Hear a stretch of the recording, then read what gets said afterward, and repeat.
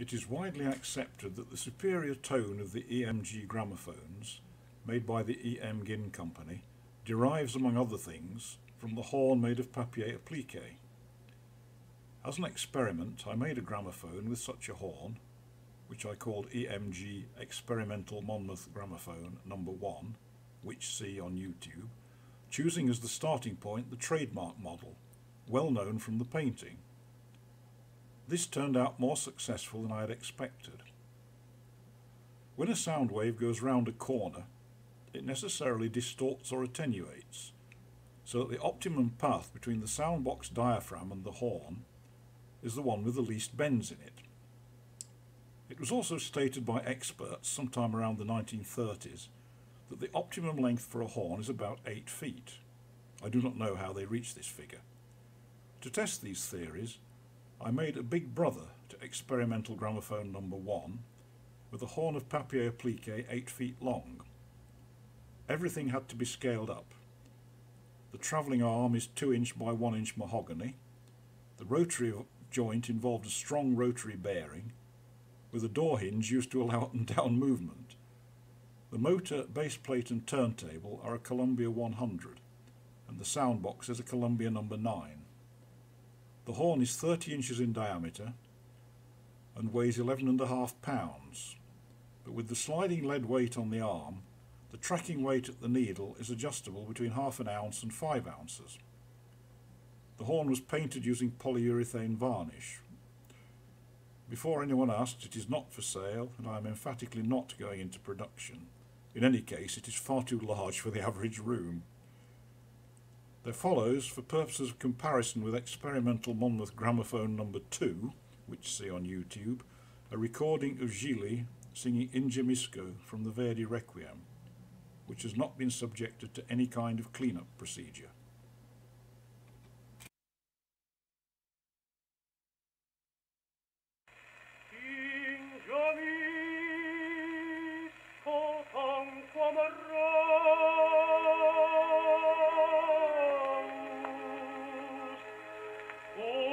harubat vultus mea.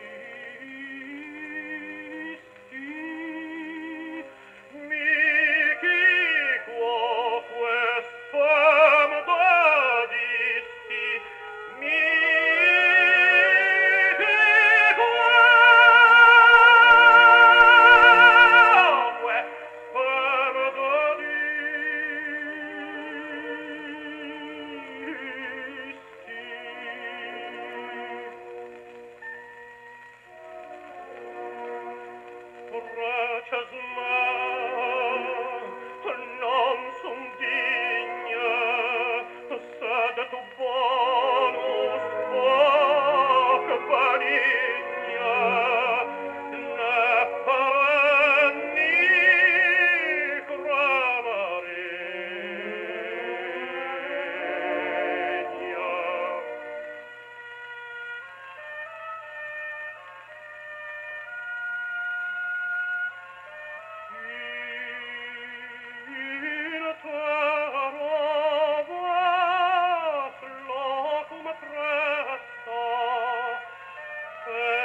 Paradies, ma quattro, il faro.